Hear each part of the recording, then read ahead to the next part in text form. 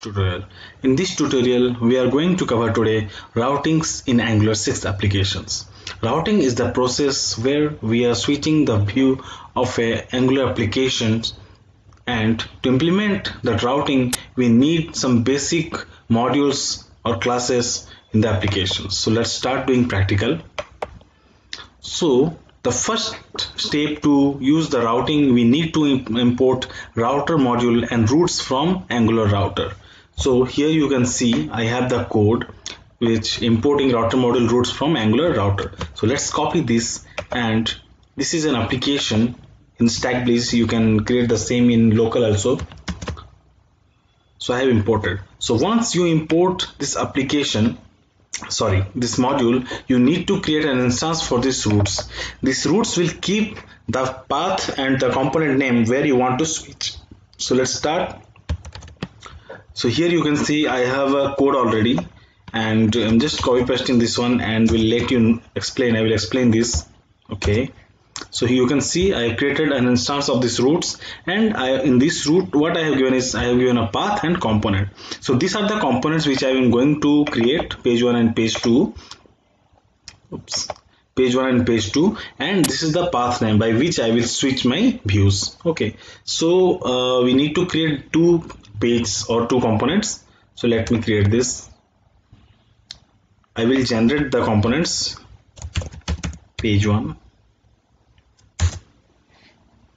it's generated. And similarly another component. Page 2 okay. So two components has been generated. And again I'm going to this TS file. So no need to worry. This is just a warning message not an error fine. So once this is completed you need to define your import here. Okay. So how to define that import? You need to use router module for routes and you have to pass that object we have created. So I'm just copy pasting.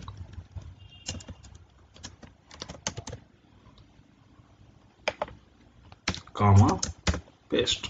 So here it is completed. That means we have imported we have defined the routes and we have again given in imports. Okay now let's go to the html part for the app component or you can create a navigation component separate where you will define the route. Okay so if you come here in this page you can see we are using router link and we are passing that path which we have given in the module file. Correct. So i'm going to copy this one this is the navigation HTML okay? Yeah.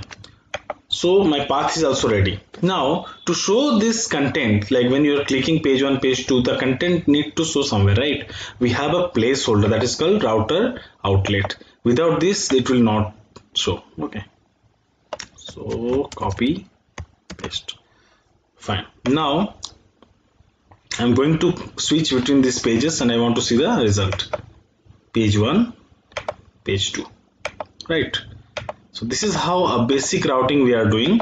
In further chapters we will see the advanced level of routing like uh, like default routing page and page loading this all. Okay